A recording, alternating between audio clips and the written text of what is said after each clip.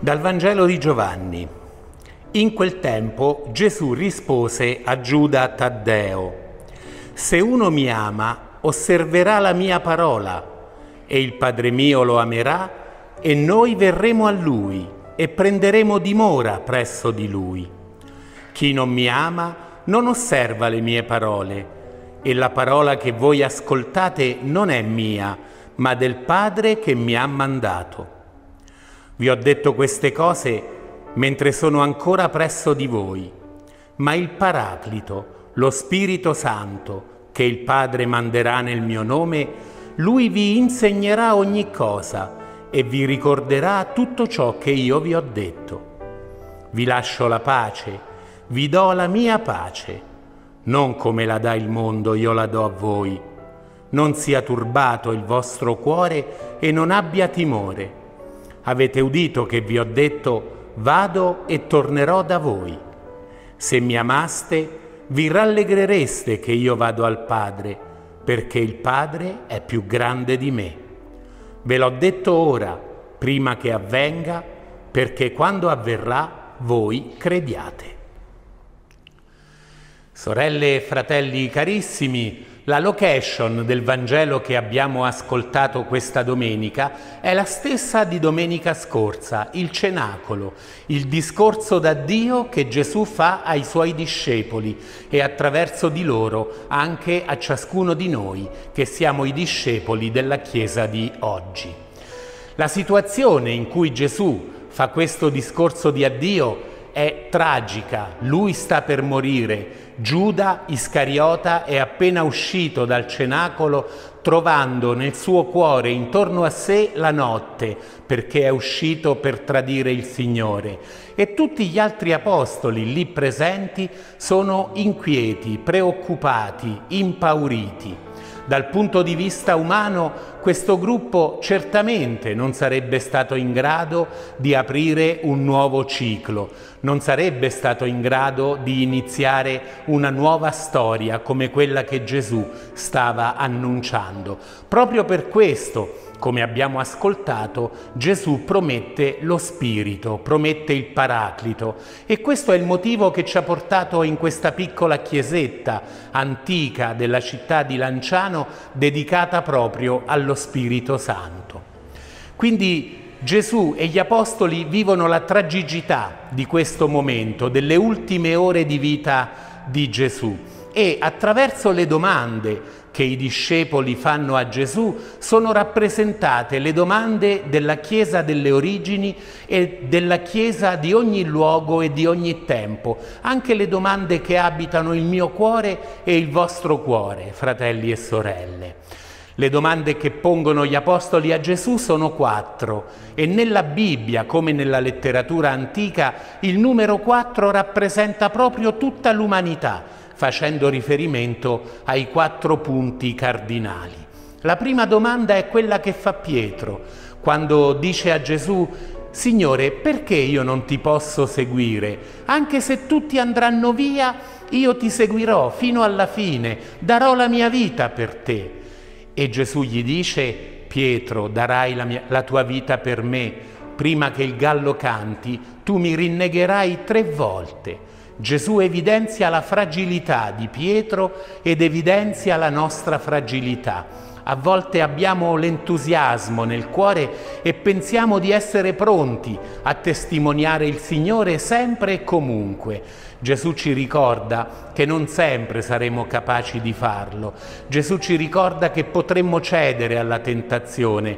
Gesù ci ricorda che potremmo sbagliare ma ci ricorda anche di non temere, perché Lui comprende la nostra fragilità, ci rimette in piedi e ci darà la possibilità di seguirlo fino alla fine, proprio come è accaduto a Pietro. La seconda domanda è rivolta a Gesù dall'Apostolo Tommaso, quello di cui noi custodiamo le reliquie nella cattedrale di Ortona. Tommaso domanda al Signore, Signore, ma tu ci dici che verremo con te, ma non conosciamo la strada, come faremo? E Gesù risponde, io sono la via. La domanda di Tommaso evidenzia la realtà della vita di ciascuno di noi.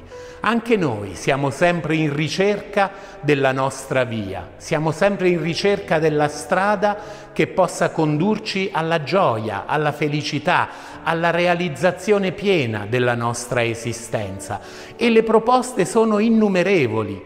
Hanno idee di strade per noi i nostri genitori, i nostri insegnanti, noi stessi, il parroco, la società, i mass media, i social. Ognuno ci propone qualche strada.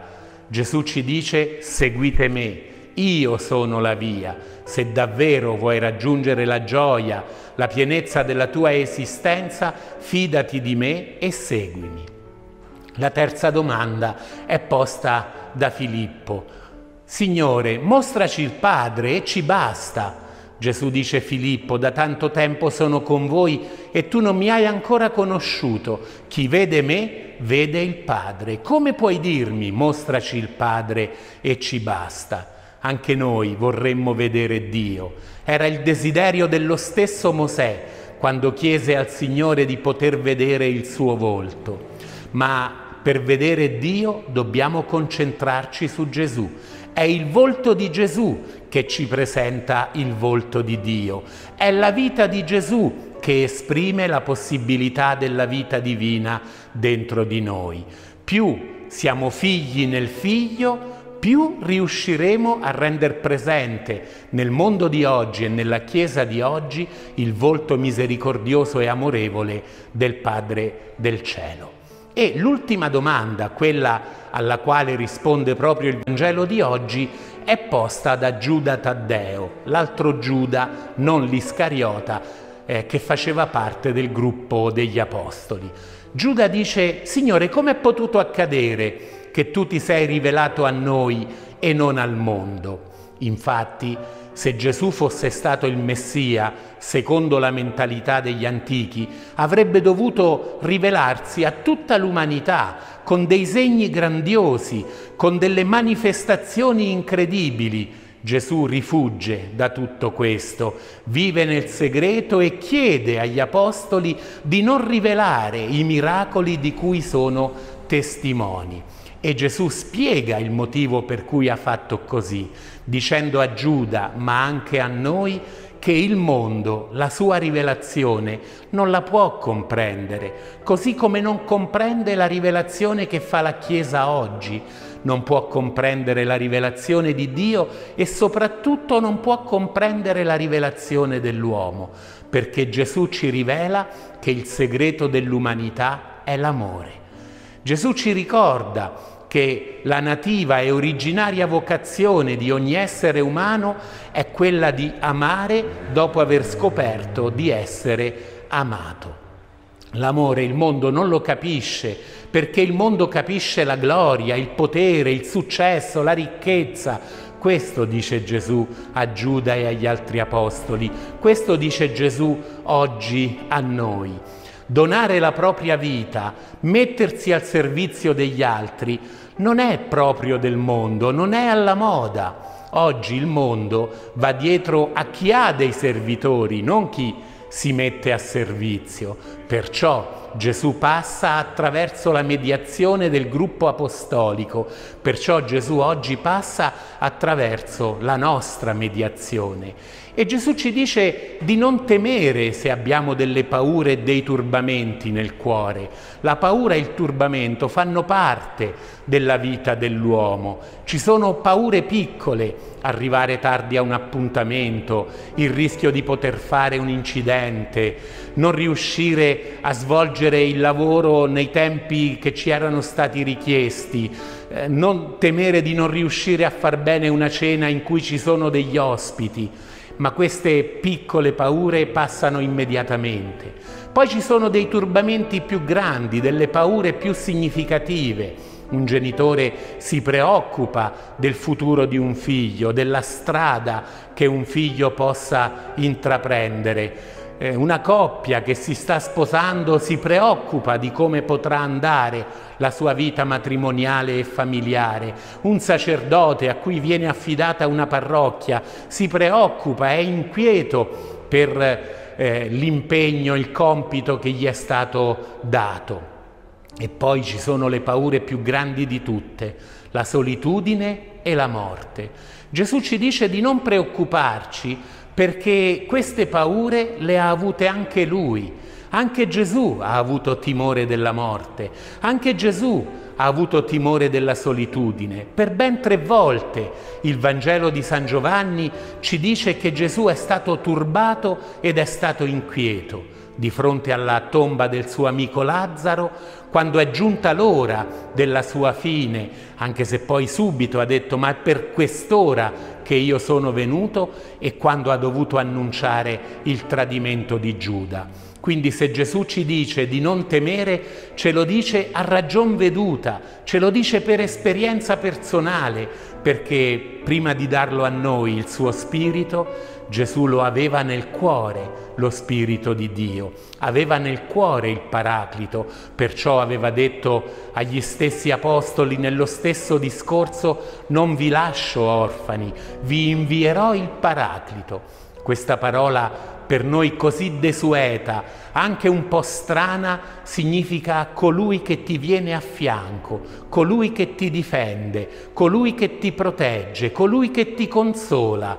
Lo Spirito Santo viene al nostro fianco per fare tutte queste operazioni, per compiere tutte queste azioni che Gesù ha promesso egli ci difende, egli ci consola, egli ci protegge, egli ci insegnerà tutto ciò che Gesù ci ha detto e ci ricorderà ogni cosa. Ci insegnerà ciò che Gesù ha detto perché lo Spirito non ha un altro Vangelo da annunciarci, ci annuncia lo stesso Vangelo che ci ha insegnato Gesù e ce lo ricorda, lo riporta all'attenzione del nostro cuore affinché noi possiamo credere in ciò che Gesù ci ha annunciato e soprattutto possiamo metterlo in pratica. Il dono dello Spirito porterà nei nostri cuori proprio il dono della gioia e il dono della pace non la pace del mondo, ci ha ricordato Gesù nel Vangelo di oggi, ma la pace che viene da Dio, la pienezza di tutti i doni del Signore, perché qual è la pace del mondo? Qual è la pace che conosceva la società al tempo di Gesù? Era la pace romana, la pace dell'impero, che era però una pace basata sul potere, sulla forza delle armi e che eh, in modo simbolico era rappresentata proprio dal mito della fondazione di Roma. Romolo traccia un solco e dice a Remo tu questo solco non lo puoi attraversare perché io sono il più potente e se lo attraversi ti uccido. La pace del mondo è questa, la pace del mondo è quella basata sul potere. Finché io comando, impongo le regole, impongo le leggi ma se colui al quale io le impongo diventa più forte di me, a sua volta imporrà a me le sue regole. Quindi la pace di Roma, la pace del mondo è la pace che c'è fra una guerra e l'altra. E ahimè, in questi giorni lo stiamo vedendo una volta di più e direttamente, momento dopo momento, nella nostra vita. La pace di Gesù è diversa, la pace di Gesù è frutto dello Spirito, la pace di Gesù è pienezza dei doni, la pace di Gesù è l'amore nel cuore, la gioia nel cuore, quell'amore e quella gioia che come annunciatori e testimoni del Vangelo noi dobbiamo portare ovunque, a tutti. Con la presenza dello Spirito dentro di noi sicuramente questo ci sarà possibile.